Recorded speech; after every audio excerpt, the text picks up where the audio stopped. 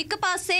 Professor Jaswinder Kaur ਦੀ ਸਿਹਤ ਖਰਾਬ ਤੇ ਦੂਜੇ ਪਾਸੇ ਮੰਤਰੀ ਹਰਜੋਤ ਬੈਂਸ ਤੇ ਇਲਜ਼ਾਮ ਦੱਸ ਦਈਏ ਕਿ ਬਿਕਰਮ ਸਿੰਘ ਮਜੀਠੀਆ ਨੇ ਇੱਕ ਵਾਰ ਫਿਰ ਟਵੀਟ ਕੀਤਾ ਹੈ ਤੇ ਜਿਸ ਦੇ ਬਾਅਦ ਉਹਨਾਂ ਨੇ ਕਿਹਾ ਹੈ ਕਿ ਪ੍ਰੋਫੈਸਰ ਜਸਵਿੰਦਰ ਕੌਰ ਦੀ ਕਾਫੀ ਦਿਨਾਂ ਤੋਂ ਸਿਹਤ ਖਰਾਬ ਹੈ ਤੇ ਜਿਸ ਤੋਂ ਬਾਅਦ ਉਹਨਾਂ ਨੂੰ ਅਨੰਦਪੁਰ ਸਾਹਿਬ ਦੇ ਹਸਪਤਾਲ ਦੇ ਵਿੱਚ ਦਾਖਲ ਕਰਵਾਇਆ ਗਿਆ। ਕਿ ਜੇਕਰ ਰਸਤੇ ਦੇ ਵਿੱਚ ਜਾਂਦੇ ਹੋਏ ਪ੍ਰੋਫੈਸਰ ਜਸਵਿੰਦਰ ਕੌਰ ਨੂੰ ਕੁਝ ਹੁੰਦਾ ਆ ਤਾਂ ਉਸ ਦੇ ਜ਼ਿੰਮੇਵਾਰ ਮੰਤਰੀ ਹਰਜੋਤ ਬੈਂਸ ਹੋਣਗੇ ਤੇ ਇਹ ਜਿਹੜੇ ਮੰਤਰੀ ਹਰਜੋਤ ਬੈਂਸ ਨੂੰ ਲੈ ਕੇ ਬਿਕਰਮ ਸਿੰਘ ਮਜੀਠੀਆ ਨੇ ਟਵੀਟ ਕੀਤਾ ਤੇ ਦੱਸਦੀ ਹੈ ਕਿ ਬੀਤੇ ਦਿਨਾਂ ਦੇ ਵਿੱਚ ਪ੍ਰੋਫੈਸਰ ਬਲਵਿੰਦਰ ਕੌਰ ਨੇ ਖੁਦਕੁਸ਼ੀ ਕਰ ਲਈ ਸੀ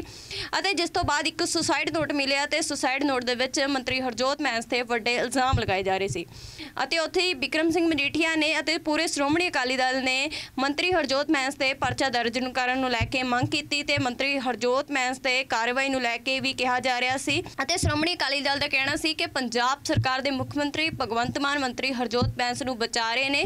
ਅਤੇ ਸਾਰੇ ਕੇਸ ਨੂੰ ਰਫਾ ਦਫਾ ਕੀਤਾ ਜਾ ਰਿਹਾ ਹੈ। ਤੇ ਜਿਸ ਤੋਂ ਬਾਅਦ ਉਹਨਾਂ ਨੇ ਕਿਹਾ, ਇਸ ਕੇਸ ਤੇ ਮਿੱਟੀ ਜਿਹੜੀ ਪਾਈ ਜਾ ਰਹੀ ਹੈ ਤੇ ਦੂਜੇ ਪਾਸੇ ਉਹਨਾਂ ਨੇ ਬੰਟੀ ਰਵਾਣਾ ਦੀ ਗ੍ਰਿਫਤਾਰੀ ਕਰਾਤੀ। ਤੇ ਅਜਿਹੇ ਜਿਹੜੇ ਬਿਆਨ ਆ, ਉਹ ਸ਼੍ਰੋਮਣੀ ਅਕਾਲੀ ਦਲ ਦੇ ਵੱਲੋਂ ਦਿੱਤੇ ਜਾ ਰਹੇ ਸੀ ਤੇ ਹੁਣ ਦੱਸ ਦਈਏ ਕਿ ਪ੍ਰੋਫੈਸਰ ਜਸਵਿੰਦਰ ਕੌਰ, ਜੋ ਬਲਵਿੰਦਰ ਕੌਰ ਦੇ ਹੱਕ ਦੇ ਵਿੱਚ ਆਈ ਸੀ ਤੇ ਇਨਸਾਫ ਨੂੰ ਲੈ ਕੇ ਮੰਗ ਕੀਤੀ ਜਾ ਰਹੀ ਸੀ ਤੇ ਕਿਹਾ ਜਾ ਰਿਹਾ ਸੀ ਕਿ ਆਮ ਆਦਮੀ ਪਾਰਟੀ ਦੀਆਂ ਜੇਕਰ ਨਾਕਾਮੀਆਂ ਨਾ ਦੇਖਣ ਨੂੰ ਮਿਲਦੀਆਂ ਤਾਂ ਅੱਜ ਪ੍ਰੋਫੈਸਰ ਬਲਵਿੰਦਰ ਕੌਰ ਇਹ ਕੰਮ ਨਾ ਕਰਦੀ। ਤੇ ਜਿਸ ਤੋਂ ਬਾਅਦ ਹੁਣ ਦੱਸ ਦਈਏ ਕਿ ਪ੍ਰੋਫੈਸਰ ਜਸਵਿੰਦਰ ਕੌਰ ਦੀ ਕਾਫੀ ਦਿਨਾਂ ਤੋਂ ਸਿਹਤ ਖਰਾਬ ਹੈ ਤੇ ਜਿਸ ਤੋਂ ਬਾਅਦ ਉਹਨਾਂ ਨੂੰ ਅਨੰਦਪੁਰ ਸਾਹਿਬ ਦੇ ਹਸਪਤਾਲ ਦੇ ਵਿੱਚ ਦਾਖਲ ਕਰਵਾਇਆ ਗਿਆ ਅਤੇ ਕਿਹਾ ਹੈ ਕਿ ਜੇਕਰ ਉਹਨਾਂ ਦੀ ਸਿਹਤ ਖਰਾਬ ਵਿਗੜਨ ਕਰਕੇ ਰਾਸਤੇ ਦੇ ਵਿੱਚ ਉਹਨਾਂ ਨੂੰ ਕੁਝ ਹੋ ਜਾਂਦਾ ਤਾਂ ਇਸ ਦੇ ਜ਼ਿੰਮੇਵਾਰ ਮੰਤਰੀ ਹਰਜੋਤ ਬੈਂਸ ਹੋਣਗੇ ਤੇ ਇਹ ਵਿਕਰਮ ਸਿੰਘ ਮਜੀਠੀਆ ਦੇ ਵੱਲੋਂ ਦੱਸ ਦਈਏ ਕਿ ਵਿਕਰਮ ਸਿੰਘ ਮਜੀਠੀਆ ਨੇ ਇੱਕ ਵਾਰ ਫਿਰ ਟਵੀਟ ਕੀਤਾ ਹੈ ਤੇ ਜਿਸ ਦੇ ਬਾਅਦ ਉਹਨਾਂ ਨੇ ਕਿਹਾ ਹੈ ਕਿ ਪ੍ਰੋਫੈਸਰ ਜਸਵਿੰਦਰ ਕੌਰ ਦੀ ਕਾਫੀ ਦਿਨਾਂ ਤੋਂ ਸਿਹਤ ਖਰਾਬ ਹੈ ਤੇ ਜਿਸ ਤੋਂ ਬਾਅਦ ਉਹਨਾਂ ਨੂੰ ਅਨੰਦਪੁਰ ਸਾਹਿਬ ਦੇ ਹਸਪਤਾਲ ਦੇ ਵਿੱਚ ਦਾਖਲ ਕਰਵਾਇਆ ਗਿਆ ਕਿ ਜੇਕਰ ਰਾਸਤੇ ਦੇ ਵਿੱਚ ਜਾਂਦੇ ਹੋਏ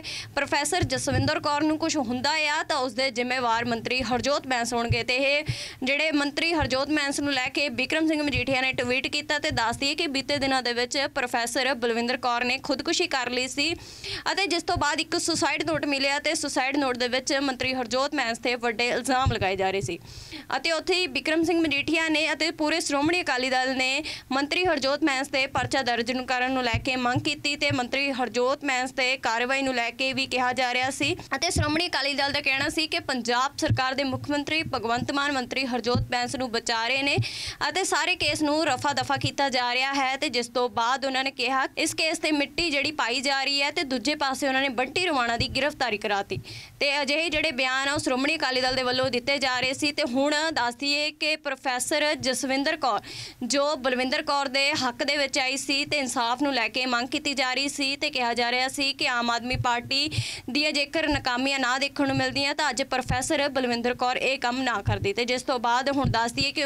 ਪ੍ਰੋਫੈਸਰ ਜਸਵਿੰਦਰ ਕੌਰ ਦੀ ਕਾਫੀ ਦਿਨਾਂ ਤੋਂ ਸਿਹਤ ਖਰਾਬ ਹੈ ਤੇ ਜਿਸ ਤੋਂ ਬਾਅਦ ਉਹਨਾਂ ਨੂੰ ਅਨੰਦਪੁਰ ਸਾਹਿਬ ਦੇ ਹਸਪਤਾਲ ਦੇ ਵਿੱਚ ਦਾਖਲ ਕਰਵਾਇਆ ਗਿਆ ਅਤੇ ਕਿਹਾ ਹੈ ਕਿ ਜੇਕਰ ਉਹਨਾਂ ਦੀ ਸਿਹਤ ਖਰਾਬ ਵਿਗੜਨ ਕਰਕੇ ਰਸਤੇ ਦੇ ਵਿੱਚ ਉਹਨਾਂ ਨੂੰ ਕੁਝ ਹੋ ਜਾਂਦਾ, ਤਾਂ ਇਸ ਦੇ ਜ਼ਿੰਮੇਵਾਰ ਮੰਤਰੀ ਹਰਜੋਤ ਬੈਂਸ ਹੋਣਗੇ। ਤੇ ਇਹ ਵਿਕਰਮ ਸਿੰਘ ਮਜੀਠੀਆ ਦੇ ਵੱਲੋਂ ਟਵੀਟ ਕੀਤਾ ਗਿਆ ਹੈ। ਦੱਸ ਦਈਏ ਕਿ ਵਿਕਰਮ ਸਿੰਘ ਮਜੀਠੀਆ ਨੇ ਇੱਕ ਵਾਰ ਫਿਰ ਟਵੀਟ ਕੀਤਾ ਹੈ ਤੇ ਜਿਸ ਦੇ ਬਾਅਦ ਉਹਨਾਂ ਨੇ ਕਿਹਾ ਹੈ ਕਿ ਪ੍ਰੋਫੈਸਰ ਜਸਵਿੰਦਰ ਕੌਰ ਦੀ ਕਾਫੀ ਦਿਨਾਂ ਤੋਂ ਸਿਹਤ ਖਰਾਬ ਹੈ